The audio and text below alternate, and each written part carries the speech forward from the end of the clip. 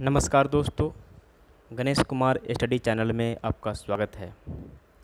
तो आज हम मिडाइवल इंडिया पार्ट पार्ट नहीं, लेक्चर टू पढ़ेंगे, मध्यकालीन Bharat lecture to.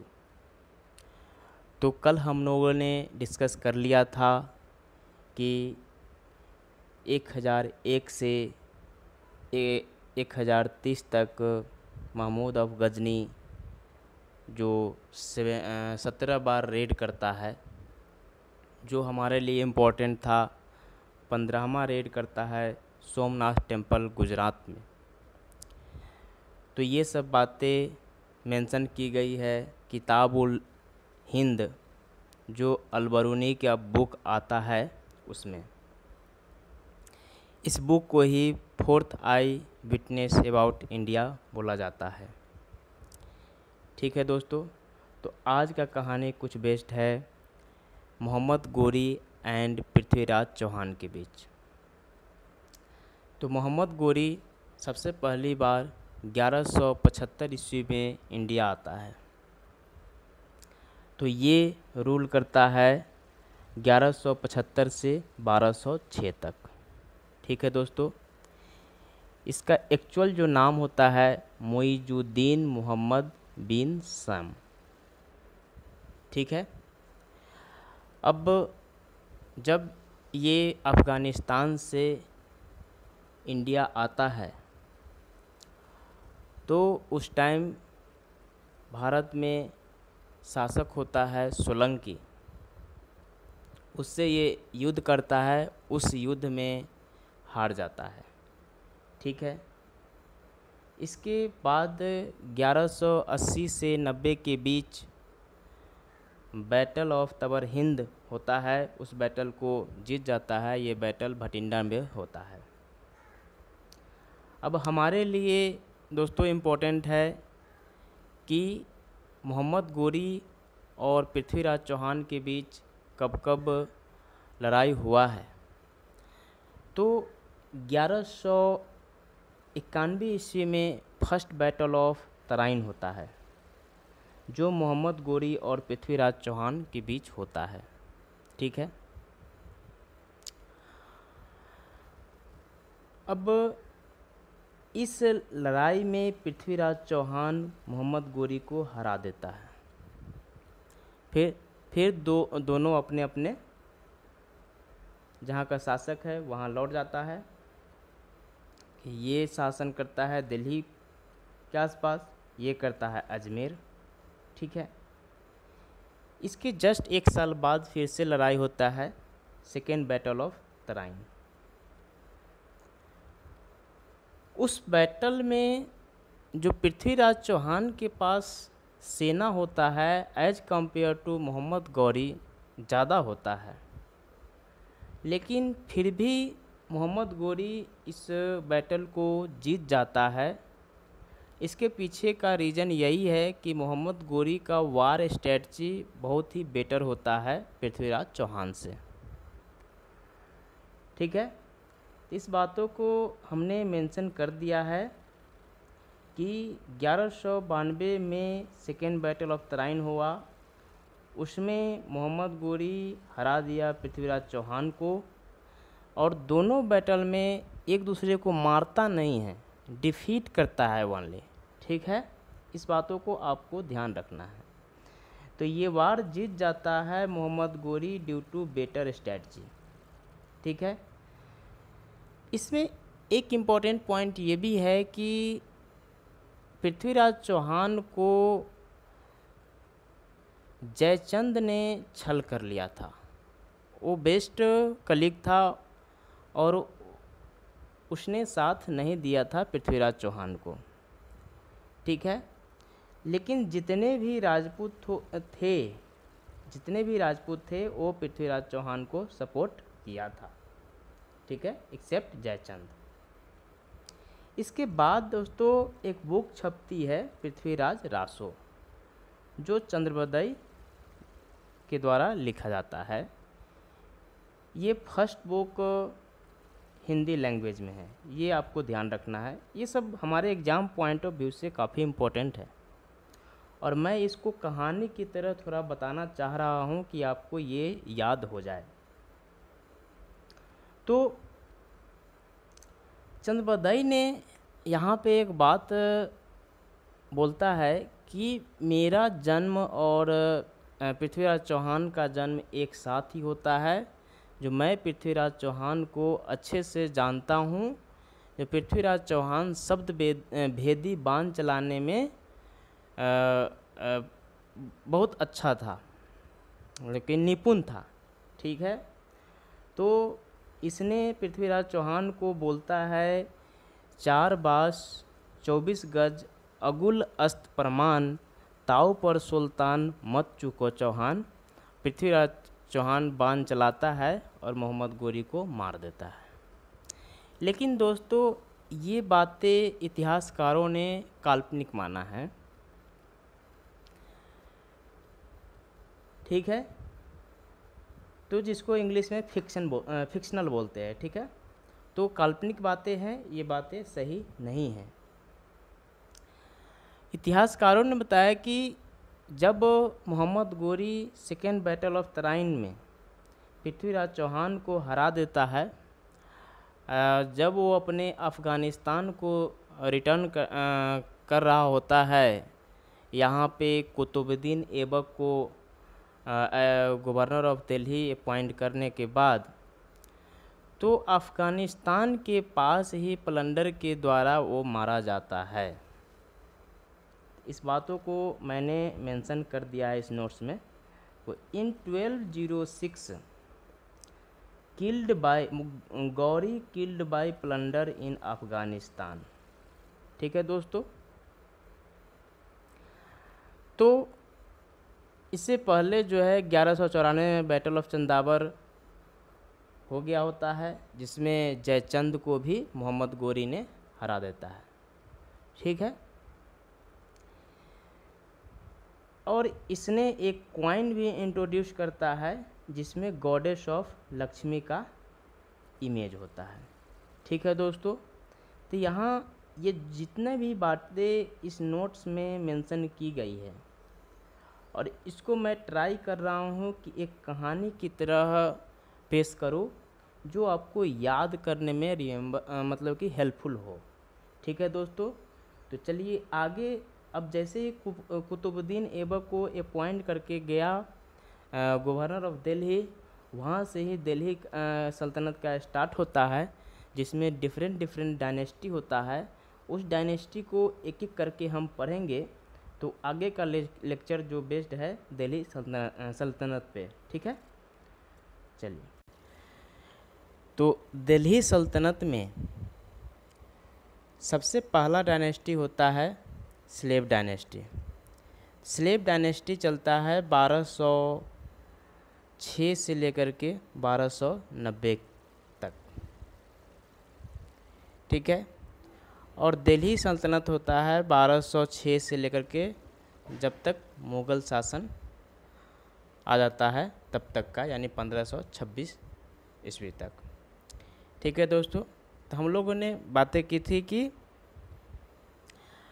Mohammad Ghori appoint करके जाता है अपना चेला कुतुबुद्दीन ऐबक को। तो वो रूल करता है लाहौर से। ठीक है? तो इसने ऑर्गेनाइज करता है इकता सिस्टम, जिसका कंसेप्ट है कि land given to military commander ठीक है दोस्तों? तो इसका दो मतलब कि काम था। एक काम था कि कलेक्शन ऑफ़ रेवेन्यू जैसे घोड़े पे बैठ करके पहले आप टीवी में देखते हुएगा कि ऐड आता था, डी डी नेशनल वगैरह में, या किसी सीरियल में। तो घोड़े पे बैठ के ये सब टैक्स वसूलता था। और दूसरा काम था raising of an army unit ठीक है? यानी creation and maintenance military contingent ठीक है दोस्तों? तो इसके बाद जो है इक्ता सिस्टम के इक्ता सिस्टम जो था, उसका हेड को बोल, बोला जाता था मुक्ति। ठीक है? इक्ता सिस्टम के हेड को बोला जाता था मुक्ति। अब एबक को ही लख बख्श बोला जाता है। एबक को ही लक्ष बक्ष बोला जाता है। तो एबक जो है, एक पैर में उसका प्रॉब्लम होता है। तो जब वो एक गेम खेलता रहता है, जिसको बोलते हैं चौघन तो गेम खेलते वक्त, यानी पोलो जैसा होता है, घोड़ा पर बैठ करके खेला जाता है उसको। तो गेम खेलते समय वो घोड़ा पर से गिरता है और उसका डेथ हो जाता है। ठीक है? तो he died in twelve one zero while playing chaugan ठीक है? अब एबक जो है टू मस्क कंस्ट्रक्ट करता है। पहला क्वात उल इस्लाम और अढ़ाई दिन का झोपड़ा। ठीक है? तो ये था एबक की कहानी। अब एबक का जो स्लेब होता है, इल्तुतमिस। ठीक है दोस्तों? तो एबक का स्लेब होता है इल्तुतमिस। इल्तुतमिस का शासन होता है बारह सौ ग्यारह ईस्वी से लेकर के बारह सौ छत्तीस ईस्वी तक। इसको रियल फाउंडर ऑफ़ दिल्ली सल्तनत बोला जाता है। ठीक है? और ये काफ़ी पावरफुल होता है। रियल फाउंडर इसलिए बोला जाता है कि ये काफ़ी समय तक शासन किया था। ठीक है? एक बात और मेंशन कर देना चाहता हूँ कि कुतुब मीनार कुतुबुद्दीन ऐबक के समय स्टार्ट किया गया था। लेकिन ज़्यादा उसमें काम हुआ नहीं था। उसको फिर फिनिश करता है इल्तुतमिस। इल्तुतमिस ने चार मंजिल तक बनाता है और फिर बाद में एक मंजिल तैयार करता है पाँचवा। वो फिरोज शाह फिरोज शाह ने, फिरोज शाह तुगलक है जिसका पूरा नाम। तो ये पाँच मंजिल तक है जो ब्रिक्स की बनी हुई वर्ल्ड की सबसे बड़ी इमारत है। सबसे ऊँची इमारत है, ठीक है? तो ये काफ़ी हाँ एक बात और इसमें इंक्लूड कर लीजिए कि कुतुब मीनार जो है, कुतुबुद्दीन ऐबक के नाम पे नहीं है। एक सूफी संत होता है कुतुबुद्दीन बख्तियार काकी, सूफी संत, उसके नाम पे कुतुबा कुतुब मीनार का नामकरण किया गया है। ठीक है दोस्तों? हाँ तो हम लोग थे इल्तुतमिस पे। ये इल्तुतमिस एक पावरफुल शासक होता है। ये कैप्चर कर लेता है बंगाल पे। ठीक है? इस टाइम चंगेज खान, जो मंगोल का किंग होता है ठीक है? वो जो है, ख्वारिज्म के खोज में निकलते हैं और वो इंडिया पे अटैक कर देता है। लेकिन सबसे यहाँ बुद्धिमानी की बात होता है इल्तुतमिश के द्वारा कि ख्वारिज्म शाह को इल्तुतमिश ने शेल्टर नहीं देता है। तो उस बात को मैंने मेंशन कर दिया है कि 1221 ईस्वी में चंगेज खान अटैक इंडिया, जो मंगोल किंग होता है, ये फ़र्स्ट मंगोल अटैक होता है इंडिया पे। तो आपसे यहाँ पे क्या आप, आपके पॉइंट से क्या इम्पोर्टेंट है कि चंगेज खान किसके समय में अटैक किया था इंडिया पे? ये क्वेश्चन बन सकता है। और वो कहाँ का किंग था, ठीक है? तो फिर था कि इल्तुतमिश रिफ्यूज कर देता है शेल्टर देने से ख्वारिज्म शाह को, ठीक है? और इंडिया सेव हो जाता है। ऐसे माना जाता है कि चंगेज खान काफ़ी क्रूर व्यक्ति था। अगर वो शरण दे देता इल्तुतमिश तो काफ़ी आगे बढ़ जाता और इंडिया को डिस्ट्रॉय कर देता। मतलब काफ़ी क्रूर शासक था, ऐसा माना जाता है। इल्तुतमिश ने ही सिल्वर क्वाइन स्टार्ट करता है, जिसको बोलते हैं टांका, ठीक है? और फिर कॉपर क्वाइन भी स्टार्ट करता है, जिसको बोलते हैं जित्तल जिट्टल ठीक है दोस्तों? अब इल्तुतमिश का दो बेटा दो चाइल्ड होता है, एक फिरोज जो सन होता है उसका, एक रजिया जो डाउटर होती है। ठीक है? तो उससे पहले हम एक पॉइंट और देख लेते हैं कि शेर शाह सूरी शेर शेर शाह सूरी उसी टंका को बाद में नाम देता है रुपया। ठीक है? तो इसके बाद हम देखेंगे कि राजिया का शासन, ठीक है? हाँ तो इल्तुतमिश के दो चाइल्ड थे, एक फिरोज और दूसरी राजिया। तो इल्तुतमिश के समय एक चालीस विद्वान व्यक्ति का जो तुर्किस होते हैं, उसका एक ग्रुप ऑर्गेनाइज किया जाता है, जिसको नेम देते हैं चहलगनी, ठीक है? जो तुर्किश विद्वान होते हैं। ठीक है? तो इल्तुतमिश का इच्छा होता है कि हम राजिया को गद्दी पे बैठाए। लेकिन चलग चहलगनी ने उकसाता रहता है कि फिरोज शासक बने इल्तुतमिश के बाद। लेकिन इसमें राजिया के पास बेन बेनिफिट पॉइंट ये होता है कि जो जनता होता है, वो काफ़ी सपोर्ट करता है राजिया को। ठीक है? तो देख लेते हैं, इसके बाद हम फिर डिस्कस करेंगे कि she was a daughter of Iltutmish nominated by Iltutmish for a Delhi Sultanate. मतलब को इल्तुतमिश डेथ के बाद दिल्ली सल्तनत पे उसको अपॉइंट कर देता है। यानी गद्दी पे बैठा देता है नॉमिनेट कर देता है और फिरोज उसका सन होता है ruled with support of Chahalgani ठीक है? जो सन है उसका फिरोज वो चहलगनी के सपोर्ट से रूल करता है। ठीक है? तो Razia was only elected sultan she had full public support ठीक है? राजिया इसलिए इलेक्ट होती है कि उसके पास पब्लिक सपोर्ट काफ़ी ज़्यादा होता है। इसके बाद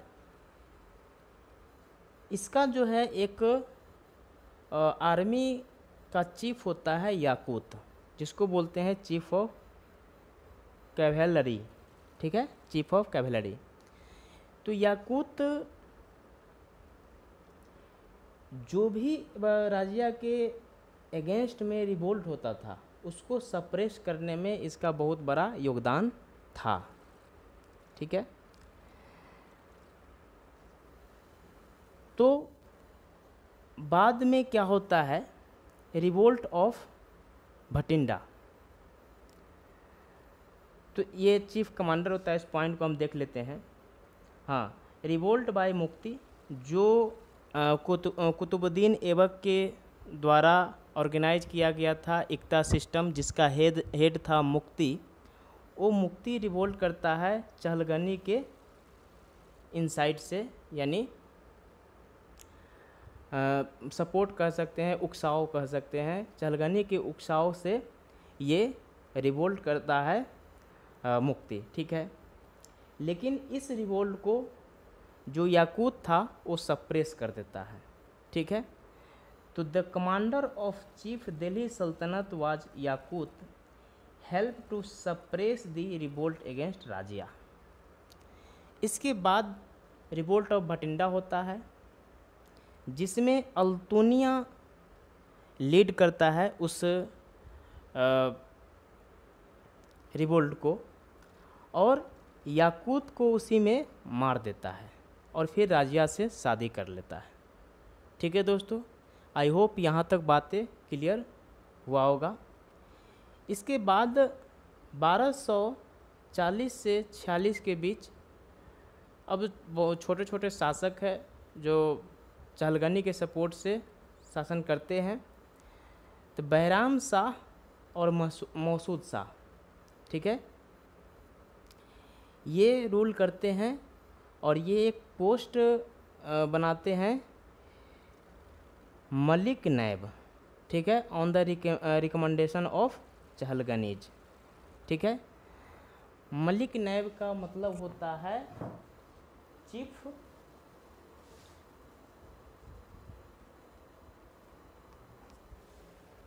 नहीं मलिकनी मलिक नैब का मतलब होता है डिप्टी सुल्तान। ठीक है दोस्तों?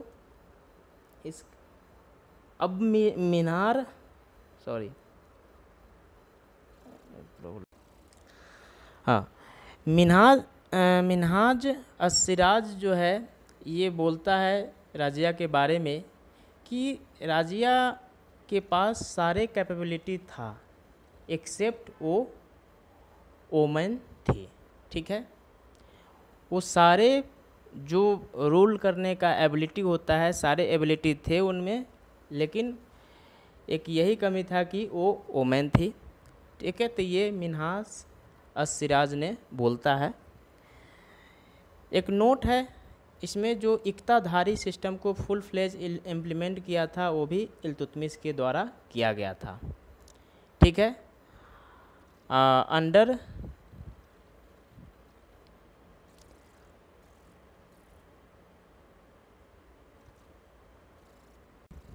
हाँ एकताधारी सिस्टम को फुल फ्लेज इम्प्लीमेंट इल्तुतमिश के द्वारा ही किया जाता है। तो आज का कहानी यहीं तक।